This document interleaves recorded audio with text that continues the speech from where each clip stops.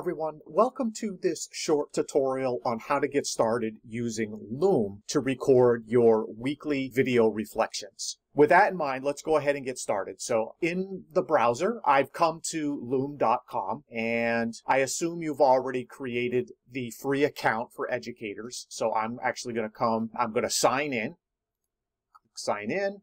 And when you sign in, you'll see here all of your Loom videos that you've recorded. Now, I cleaned out my accounts so that it would mirror if you were just getting started with Loom and didn't have any recordings. So the first thing that I want to show you is how to download the desktop app. So what you'll want to do is come up to More, click here, and then click on Desktop App right there. And here it's detecting that I'm on Mac OS, but if I click see more options, I can download it for PC or Mac. And of course, you could go ahead and click download and that will begin the download process. So once you've downloaded Loom, you would go ahead and install it just like you would any other piece of software. And then what you do is when you launch it, that new application, you'll see here that Loom is actually sitting up in your menu bar. Now, one of the things that you'll notice is if I mouse over my dock here on Mac OS, I don't see a Loom icon. So that's something that a lot of people find confusing depending on how they're used to using apps. So one of the first things that I want to do is actually change that preference. So I'm going to click there, come to preferences, and I'm going to come over to account and I'm going to say show the dock icon. So I'm going to turn that on and then I'm going to go ahead and close this. Now if I come down to my dock, I can actually see that Loom has a dock icon and I can tell my operating system, keep that icon, keep that application in the dock. And so I'm going to go ahead and select that. Now with Loom running, I have several choices of what I can do. So the first thing you'll want to notice is there's actually three options here. Screen plus cam, in other words, I'm telling it I want to record my screen plus my camera, which I, of course, you could see down here in the lower left-hand corner. Now, I may only want to record my screen only, and in that case, the cam shuts off, or I may want to record only my cam. In other words, just this little window down here at the bottom. Loom can do any of those combinations.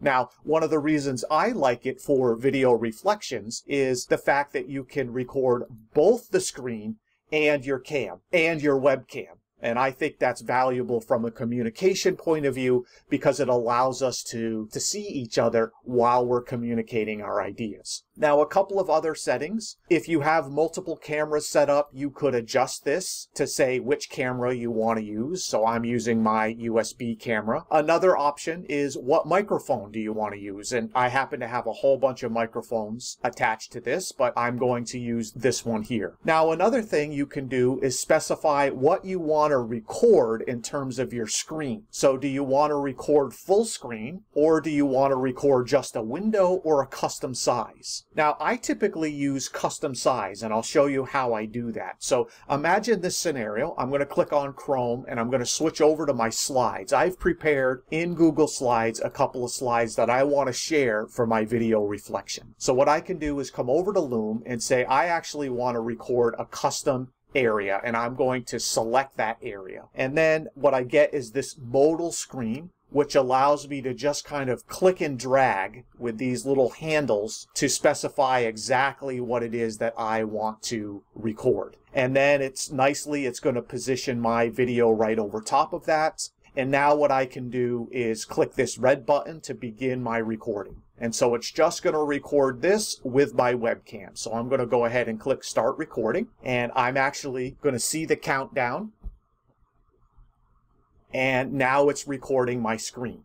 Now, if I take a look over here on the left to these buttons, if I want to stop my recording, I can click this red square. If I want to pause my recording, I can click the pause button. Now, a couple of important things that I really like about Loom is I can actually move this around. So if by accident I was covering up some important text, I can move my webcam around. I can also resize my webcam. If you mouse over the three dots at the bottom, I can make myself bigger. I can actually size myself up so you could see more of me like this while I'm communicating. Or I can actually switch, whoa, that's actually very large. I can actually switch to my photo that I have tied to my account. Uh, we definitely don't need to see that. But typically you'll want this smaller size and for some reason you needed to shut it off, you could just click the X here. Now the other really nice feature about Loom is you can actually annotate while you're speaking. And so here's the annotation screen. You can select the color of your marker. You can also adjust the size of it by using this slider. And what it allows you to do is actually highlight things just like that. Now you'll notice in a few seconds that'll go away.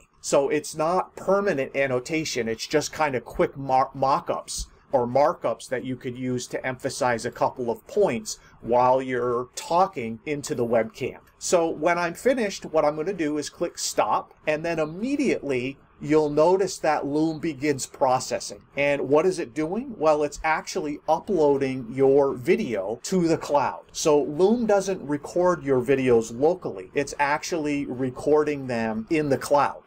It'll take a second or two for it to actually process your video, depending on how long your video is and what resolution you're using. So you could see here I actually have my Loom video. Now there's a couple of things I could do. I can change the name of this, Dan's Loom, and then I could put in July 10th, 2020 and I can also do a couple of other things. So for example, I can adjust the settings here. Do I want to allow comments? Do I want to allow emoji reactions? Typically, I think that's helpful to do. So I would leave that turned on. Some other things, maybe at the end of it, I recorded some things I didn't want, I can start trimming. It's really easy. I can just kind of move these handles to specify what part of my video I want to keep. Once I get these handles right where I want them, I can click remove. I won't do that now, so I'm just going to click cancel and then return to video. Now, another important thing I can do is click call to action. So I can click on call to action and actually this is like a button that you can put at the end of your Loom video.